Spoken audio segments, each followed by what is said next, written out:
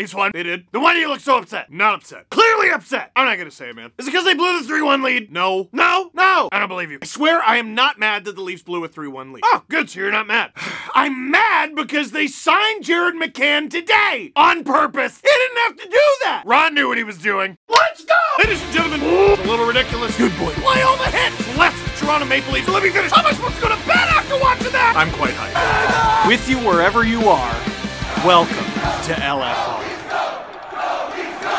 Iggy, bark if the Leafs blew a 3-1 lead. I- exactly, who cares? They won. That's right. High five. High five. So I'm standing on an angle so I can show off the New Jersey. Not low enough? High fi- low five. That's right. Leafs win! 6 to 4 over the Seattle Kraken. The first time the Leafs have ever had the pleasure of beating the Seattle Kraken in Toronto. Welcome to Toronto. Your jersey is lovely. Thank you for the two points. Please leave. I'm bitter. I'm bitter about McCann. Before we get to the theme of the game, the pre-game the Wayne Train. Wayne Simmonds with his 1,000 games ceremony. Big compilation, a video board tribute that included Drew Doughty, Claude Giroux, Jason Spezza in a game where he was a healthy scratch, and a bunch of others. But I did appreciate that Kyle Dubas, he just, he had to go a step above. Because it is tradition, when a player plays their 1,000th game, guess what? They get a silver stick. And Dubas said, no. One stick, no. Mr. Wayne Train, you have two kids, so they get silver mini sticks. You know what a flex it is to get a silver mini stick for two children who super don't care? The one child is literally a few weeks old. Not sure how old the eldest is, but they look like they're about Leo's age. And let me tell you a little something about Leo and mini sticks. So we just had an event, my family, called Christmas 2. That's what we decided to call it. Because at Christmas time, when gestures vaguely at the world, we didn't all get together. So last week we decided to do it again. My child and my cousin's child, who are two weeks apart in age, got to play together for the first time ever. And I was really looking forward to it. I was like, this is gonna be so cute. I brought two mini sticks so they can play mini sticks together. And I was like, oh my god, this is gonna be so precious. This is gonna be so adorable. And the second they started playing, I'm like, what a stupid idea. Why did I do this? You ever seen a toddler play mini sticks? They're not actually playing. There's no plan. No, no, Leo, don't! We're lucky none of us were cleaved in half. And I can't imagine if his mini stick was made of silver.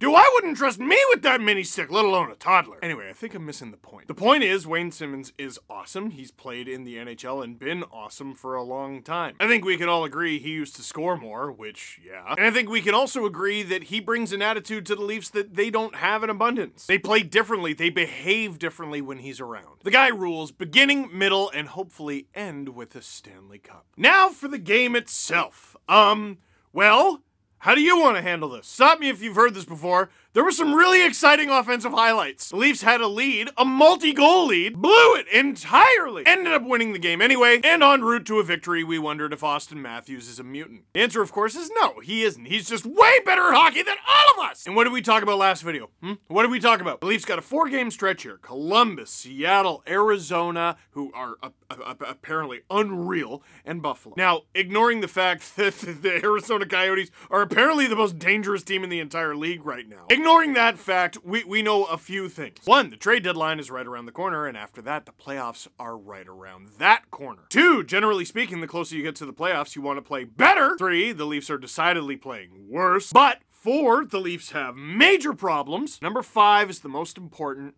Kyle knows. The Leafs know. They have acknowledged in the media that they're working on it. They've all but said no, they have literally said we're working on our defense. And I'm tired about talking about how they stink in certain areas because we know. They know. And we know that they know. And with Boston just coming right up there in the standings, all I want's a win.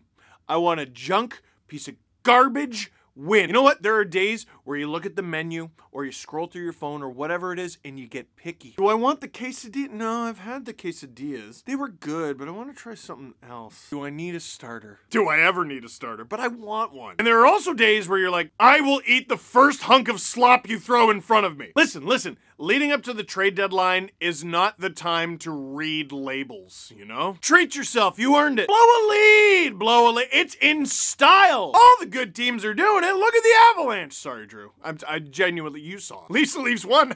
I, why do I say that to the guy who edits my? I'm well, they did. So yeah, they blew a three-one lead. Yeah, it was to the very not that impressive Seattle Kraken, but who cares? They won. Let's take a look at what went into the trough. First goal, Austin Matthews does a great job along the boards keeping the puck alive. Morgan Rielly does a great job keeping the puck in. William Nylander does a great job getting the puck back to Austin Matthews. And do you want to see how to not defend him? This! This is how you not defend him. Why? You know how Alexander Ovechkin always gets those power play goals, and you're like, how don't teams know that's coming? I that's this guy has more goals than Ovechkin since his career began.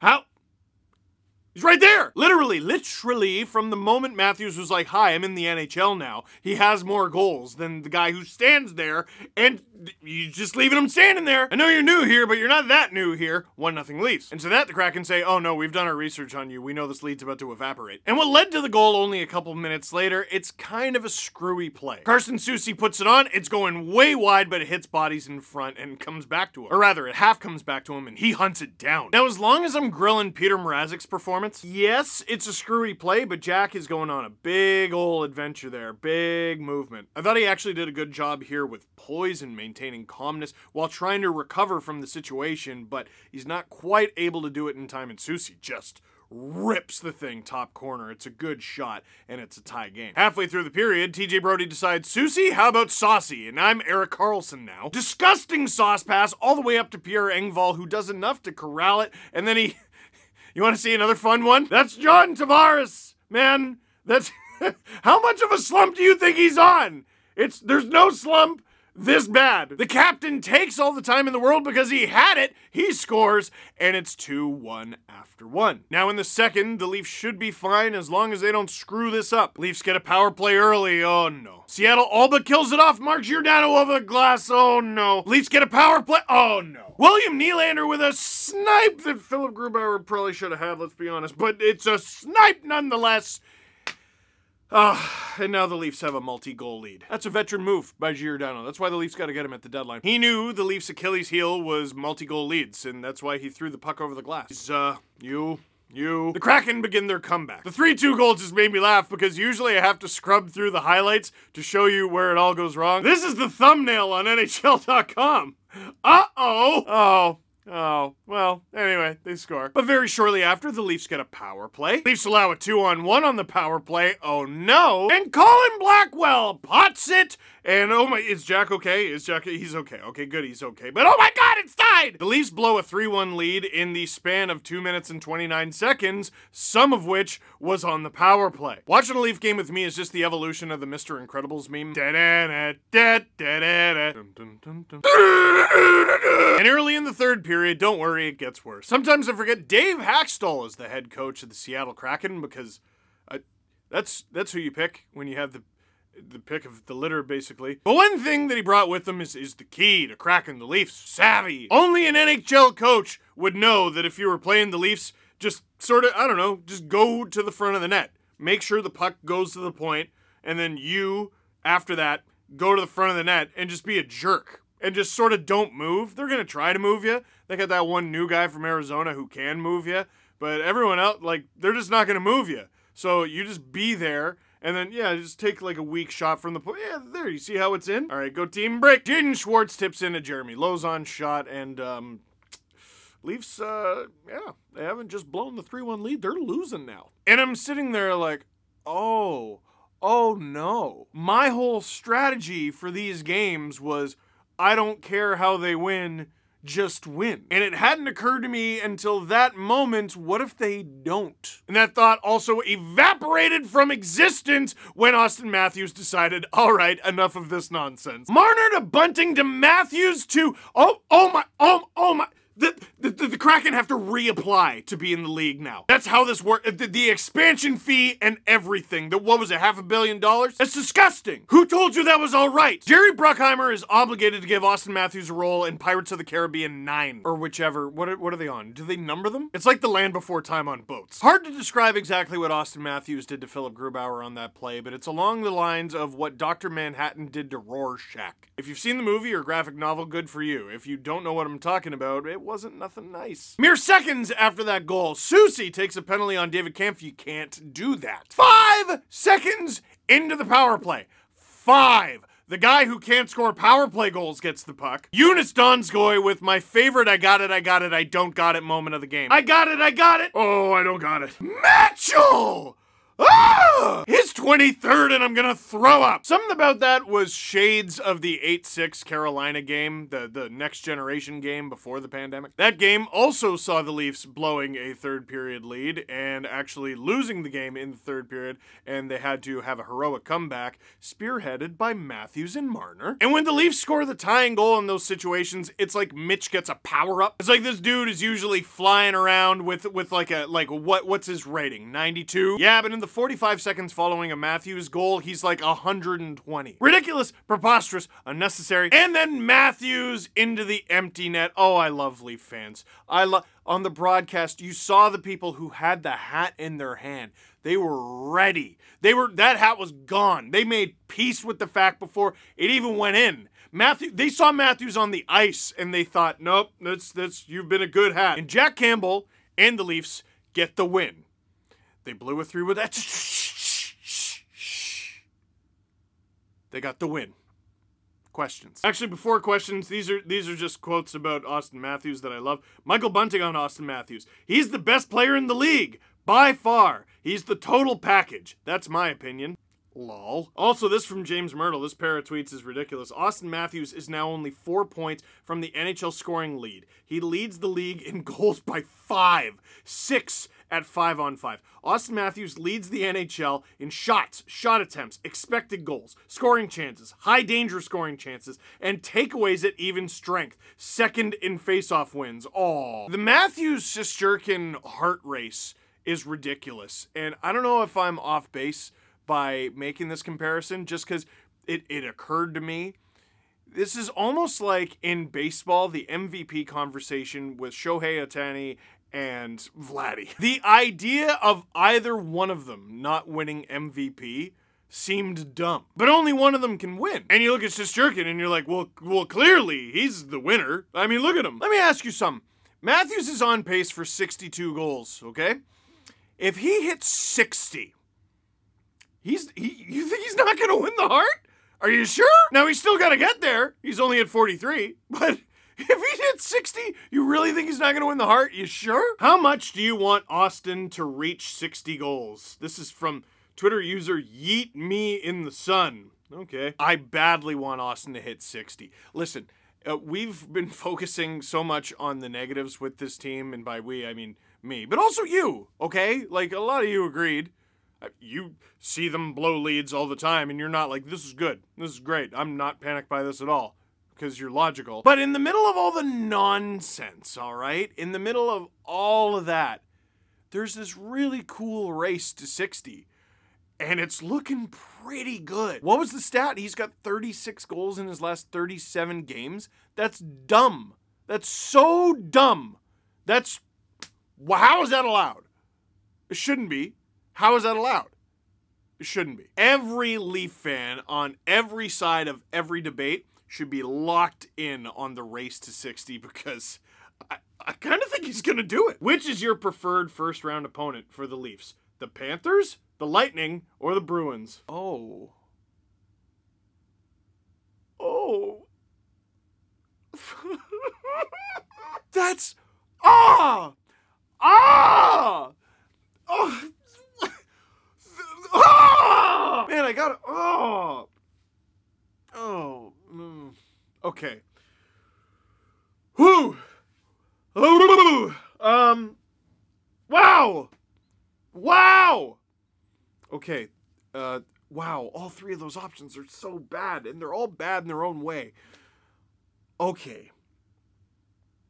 From a story perspective, one of Tampa or Boston would be great. Uh, I would like the Leafs to eventually beat the Boston Bruins in a playoff series. I am that sick. Yes. Also, the idea of the Leafs slaying their we haven't won a playoff round since 2004 dragon in the form of the uh, back-to-back Stanley Cup champions, uh, that, that'd be pretty cool too. I think the practical answer is the Florida Panthers because the Florida Panthers are a lot like the Leafs in a lot of ways. They score a ton of goals. Um, and their goalies an adventure. But because their offense is so good, they usually win. But listen, um, I, I hate to break it to you, there are no bad teams in the playoffs. There is no easy road to the Stanley Cup. Arguably, there was last year. And, uh, well, no, no, no, we're not going to talk about last year. Expecting my daughter any day now. Congratulations. Does my anxiety about the Leafs get better or worse when the baby is here? Here, I'll, I'll tell you a story. Um, so, back when my wife and I found out uh, she was pregnant with Leo, um, we found out that he was going to be born like late June, early July. And we're like, oh, that rules. I work in hockey. She's a teacher. This is great. Keep in mind, this was like October, November 2019. We're like, oh, this is great. This is perfect. Summer baby. And then a pandemic happened. And for the first time ever, the Stanley Cup playoffs started in August. You plan, God laughs. Okay, if there are times where you find yourself more stressed during a Leafs game, that is the stress of being a new parent and sleep deprivation talking, not your Leafs fandom. My throat hurts from screaming. Any recommendations? So, I don't know if you can tell, but I love the sound of my own voice right now, and that's because I read this question and immediately made myself a tea. And, like, listen to how crisp that is. I've been yelling this entire time.